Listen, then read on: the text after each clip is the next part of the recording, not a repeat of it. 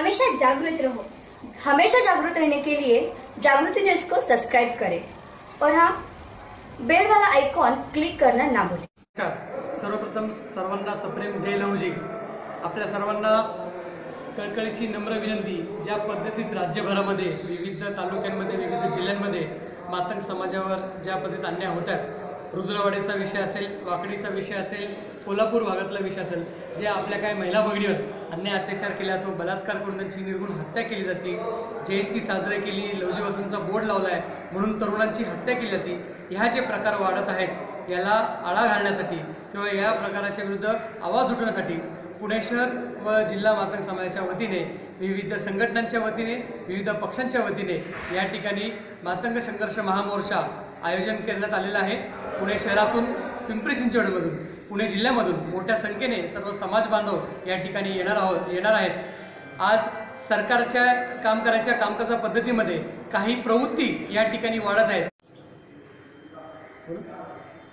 गेल्या तीन चार वर्षामध्ये ज्या पद्धती या सर्व घटना होत आहेत असं नाही आहे की याच्या आधी काही अन्य अत्याचार होत नव्हते परंतु असं कुठली घटना घडली की लोक त्याविषयी बोलायचे किंवा पुढारी त्याविषयी आवाज उठवायचे? मग त्या वेगळ्या पातळीवर महानगरपालिका असेल जिल्हा परिषद असेल किंवा विधानभवन असेल किंवा आदिवासी असेल या ठिकाणी त्यांच्याबद्दल वांछित व्हायची चर्चा व्हायची आणि त्यावर तोडगा निघायचा. परंतु गेल्या तीन वर्षापासून इतक्या गंभीर घट स्वरूपाच्या घटना होत आहेत आणि कोणाला बोलून दिले जात नाहीत. किंवा जो समाज जी संघटना आवाज उठवती त्यांच्यावर कुरघोडी करून त्यांच्यावर खोटे गुन्हे दाखल करून त्यांचा आवाज दाबण्याचा प्रयत्न करतात. या सर्व प्रवृत्तीच्या विरोधात समाज या ठिकाणी पेटून उठलेला आहे आणि मोठ्या संख्येने रस्त्यावर उतरणार आहेत. माझी सर्व समाज बांधवांना विनंती आहे अभि नाही तो कभी नाही.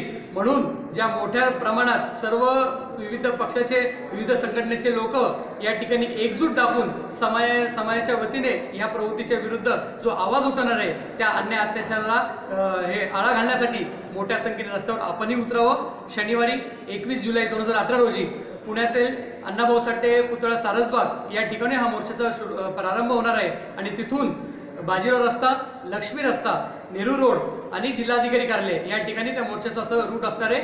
आणि मोठ्या संख्येने आपण सर्व आपल्या समाज बांधवांसोबत मित्रांसोबत नातेवाईकांसोबत कुटुंबांसोबत आपण सर्वांनी या मोर्चामध्ये सहभागी व्हावं आणि या ज्या जातीयाला जाती व्यवस्था जी या स- या ठिकाणी निर्माण झाली आणि जी प्रवृत्ती वाढत चालली आहे अल्पसंख्याक आणि दलितांवर अन्याय अत्याचार करण्याची त्या प्रवृत्तीला ठेचून काढण्यासाठी आपण सर्वांनी रस्त्यावर उतरावं एवढी या ठिकाणी आपल्या सर्वांना विनंती करतो. मी येणार आहे. तुम्हीही या. जय लवजी जय अण्णा.